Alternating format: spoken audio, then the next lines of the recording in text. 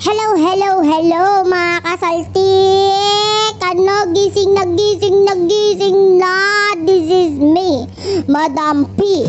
At ito na naman ang ating collective love reading kay Kaunli What Residents. Dahil ito ay collective, wala tayong specific zodiac sign. Alam nyo na, alam nyo na. Intindi nyo na lang yung reading. Pag nakarelate kayo, nakarelate kayo. Pag hindi, hindi. Ibig sabihin, hindi para sa inyo ang reading. Pero may next time pa tayo, wag kayong umiyak. Okay? Okay. So, start na natin ang reading. Kunin natin yung main energy mo ng person nyo, ay person mo. Tapos, ah, past, present, and future. Tarararan, tan, tan, tan, tararan, tan. Tarararan, tan, tan, tan, tararan, tan. Oh. May pa-sounds effect pa ako, ha? Oh, in fairness, kamusta na kayo dyan? Mm-mm. In fairness, kamusta na kayo dyan? Ah, shuffle ko lang itong cards. Para sa ating mga kasaltik certified kasaltik. Kung ikaw ay certified kasaltik, alam mong may saltik ka, minsan may toyo, minsan di maintindihan, gusto may tantrums, alam mo na, subscribe. Yan, para ikaw ay maging kasaltik. Uh, kunin natin ang main energy mo. Main energy mo is the Four of Cups. Ay, bakit mo na naman hindi nasisigurado? Ano na naman? May saltik ka nga talaga with the Four of Cups. O maaaring naboboring ka na. Ano na? Hindi ka na naman sure sa person mo. Sa bagay, marami naman talagang tao sa mundo. Oy, taray, haharot na naman. Hindi. Iba sa inyo talagang possible na napapag-isip-isip ko na bakit? Kasi bottom of the deck, five of wands, nagkaagulo kayo, nagkaaway kayo. Ang lakas na naman kasi ng saltik mo. O ngayon, hindi ka na naman sure sa person mo. Sino dito yung pag nag-away, hiwalay agad? Oh, parang tanga lang. Kung hindi man hiwalay, nakakaisip, nagdadalawang isip. Nasasabi mo na naman na parang ayoko na dito sa person na ito. Parang ang hirap niyang intindihin. Pero yung totoo, sino ba talaga sa inyo ang may saltik? Sino ba sa inyo may toyo? O, nag-away kayo ng person mo, hindi ka na naman sure sa kanya. O, what's with the four of cups? What's with the four of cups? Oh, the star. Oh, Aquarius energy. Siyempre, i-clarify natin yan. The Emperor. Oh, meron ka na namang gustong mangyari sa buhay mo with the High Priestess. Ayan. Ano na namang mga sinisikreto mo? Hmm, ano na namang mga gusto mong mangyari sa buhay mo? Yung iba sa inyo, ikaw ang nagdidesisyon sa relasyon, sa connection na ito. Yung iba sa inyo, pwedeng magkarelasyon kayo ha. And with the star nakikita natin, meron ka na naman nakikita na gusto mong ma-achieve, gusto mong makuha, gusto mong makamit. Tapos, wala yung person mo doon. Ah, di ba? Ah, alamin natin, anong meron sa energy ng person mo. The devil ay hinayupak pala yung person mo. Maraming ang mali sa kanya na nakikita mo kaya nakikita mo parang ayaw mo na ah. Ayaw mo na dito sa person na ito. In fairness, sa person mo with the hanged one, ayan, two major arcana ta agad, agad dito sa person mo. Meron naman siyang hinihintay. Ano ang hinihintay ng person mo? Ano ang hinihintay ng person mo? Mm. The High Priestess. Ay, in fairness, ikaw ang hinihintay ng person na to. Meron siyang mga hinihintay sa'yo. Ay, tatlong, oy, lima. Ay, ano pala? Ilan ba? Mahira, mahina tayo sa number. 1, 2, 3, 4, 5. Tapos bottom of the deck, 6. 6 major arcana. Agad-agad. Anong meron? Ang lakas ang energy ng person mo ha. In fairness sa kanya. Oh, mali siya. Okay, may mga mali siya.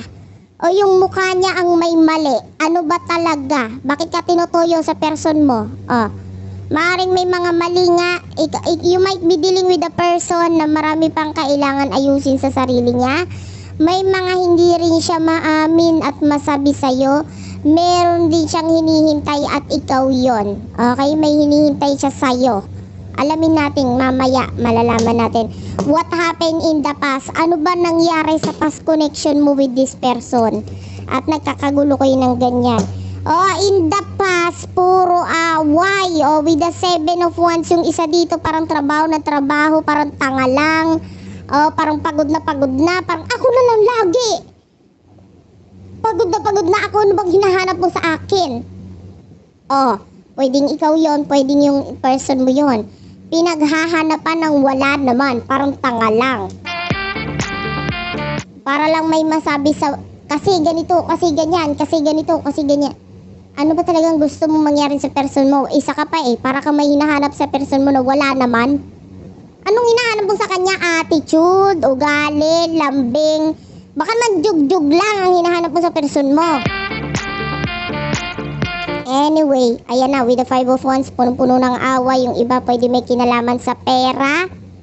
Ah, alamin, alamin.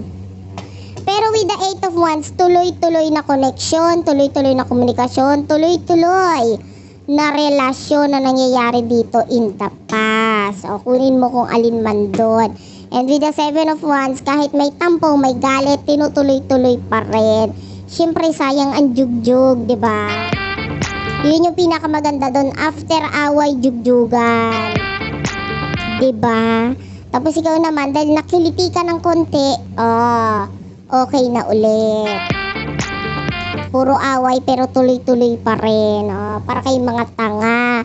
Ano ba talaga? Hindi, hindi pang MMK ang kwento nyo. Nakaka-stress. Aaway, jujugjug, babate, ano to? Hindi talaga pang MMK. Okay, alamin natin. Ano ba ang um, im, ang present, present na nangyayari sa inyo ngayon? We do have here the Fool. Oy, the Fool. Major Arcana, the Fool na naman tayo. Oh. Oy, with the Three of Swords, Gemini, Libra, Aquarius, Energy. One more, one more.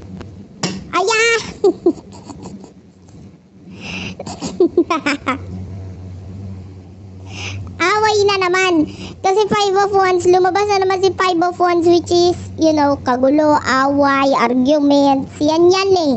Away-away na naman kayo eh. With the Ace of uh, Swords, may nakita ka na naman sa kanya na hindi mo nagugustuhan. With the Three of Swords, possible na nasasaktan ka dito sa person mo ngayon. Kasi with the Fool, parang wala siyang pakialam sa'yo. Ano? Kung iba sa inyo, pwedeng in, iniisip mo na baka ito'y may third panty hindi ka nakasigurado. Ah, with the ten of wands, pagod na pagod ka na. Gusto mo na ng pagbabago dito sa person na ito. Tapos walang nagbabago sa kanya kasi pake, kaya, kaya yung mukha niya, ganun pa rin. Eh, bakit mo pinatulan?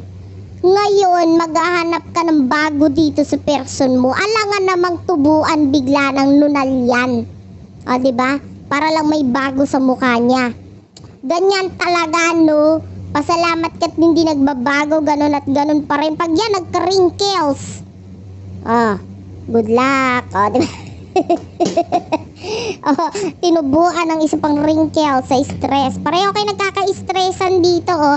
Parehong may away, parehong may gulo noon hanggang ngayon. Alam nyo ang dapat gawin sa inyo? Hindi nyo alam. Dapat sa inyo pag-untugin para kayong mga tanga. Magre-relasyon, relasyon kayo, tas away-away kayo. Aba, aba, di maganda ito. Uh, what will happen in the near future dahil dyan sa awayan na yan na nangyayari sa inyo na person mo? Uh, we do have the five of cups. Ay! The king of cups. Ay! Ano pa?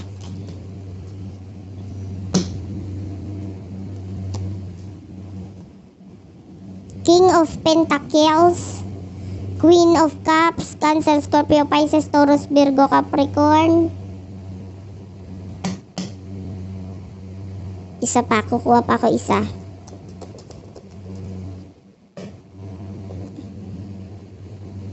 Queen of Pentacles, the Ace of Wands and Nine of Cups. O yung iba sa inyo, pwede you're dealing with the twin flame soulmate connection. Alam nyo kung bakit kayo gumugulo? Ay, ito na. Para dun sa iba, may pa-third panty! At in the future, nakikita natin, nandyan na naman si third panty. Pwedeng sa side mo yon kasi ikaw itong may ginugusto. Pero any side naman eh, pwedeng sa person mo rin. At nakikita natin dito nagmamahalan, nagmamahalan pero hindi makapagjugjugan yung third panty. Kasi with the nine of cups, nandyan yung option, nandyan yung pagkagusto, pero hindi maibigay dun sa taong gusto kasi nandito pa itong person na ito.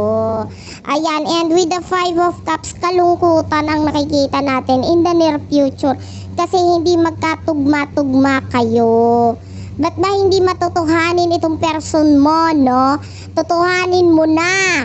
Sabihin mo na sa kanya ang totoo na may third pante. Sabihin mo na, ayoko na sa'yo. Ang tigas ng ulo mo. Hindi ka na naglalambing sa akin. Ang alamalang jugjog. Tapatin mo na yung person mo para nagkakaalaman na. Para yung hinahanap mong pagbabago, yung hinahanap mong nunal, baka nandun sa person na isa pa. Gets mo na? Gets mo na? Kasi maaaring hindi ka masaya, nagmamahalan kayo pero hindi na ganon. Para ng, para ng pagmamahalan na depende lang sa nangyayari sa sitwasyon. At kadalasan pag nagjugjugjugan lang tsaka mo nasasabing mahal mo siya. Yung totoo. Yung totoo. Ah, alam mo nang gagawin. Ah, di ba?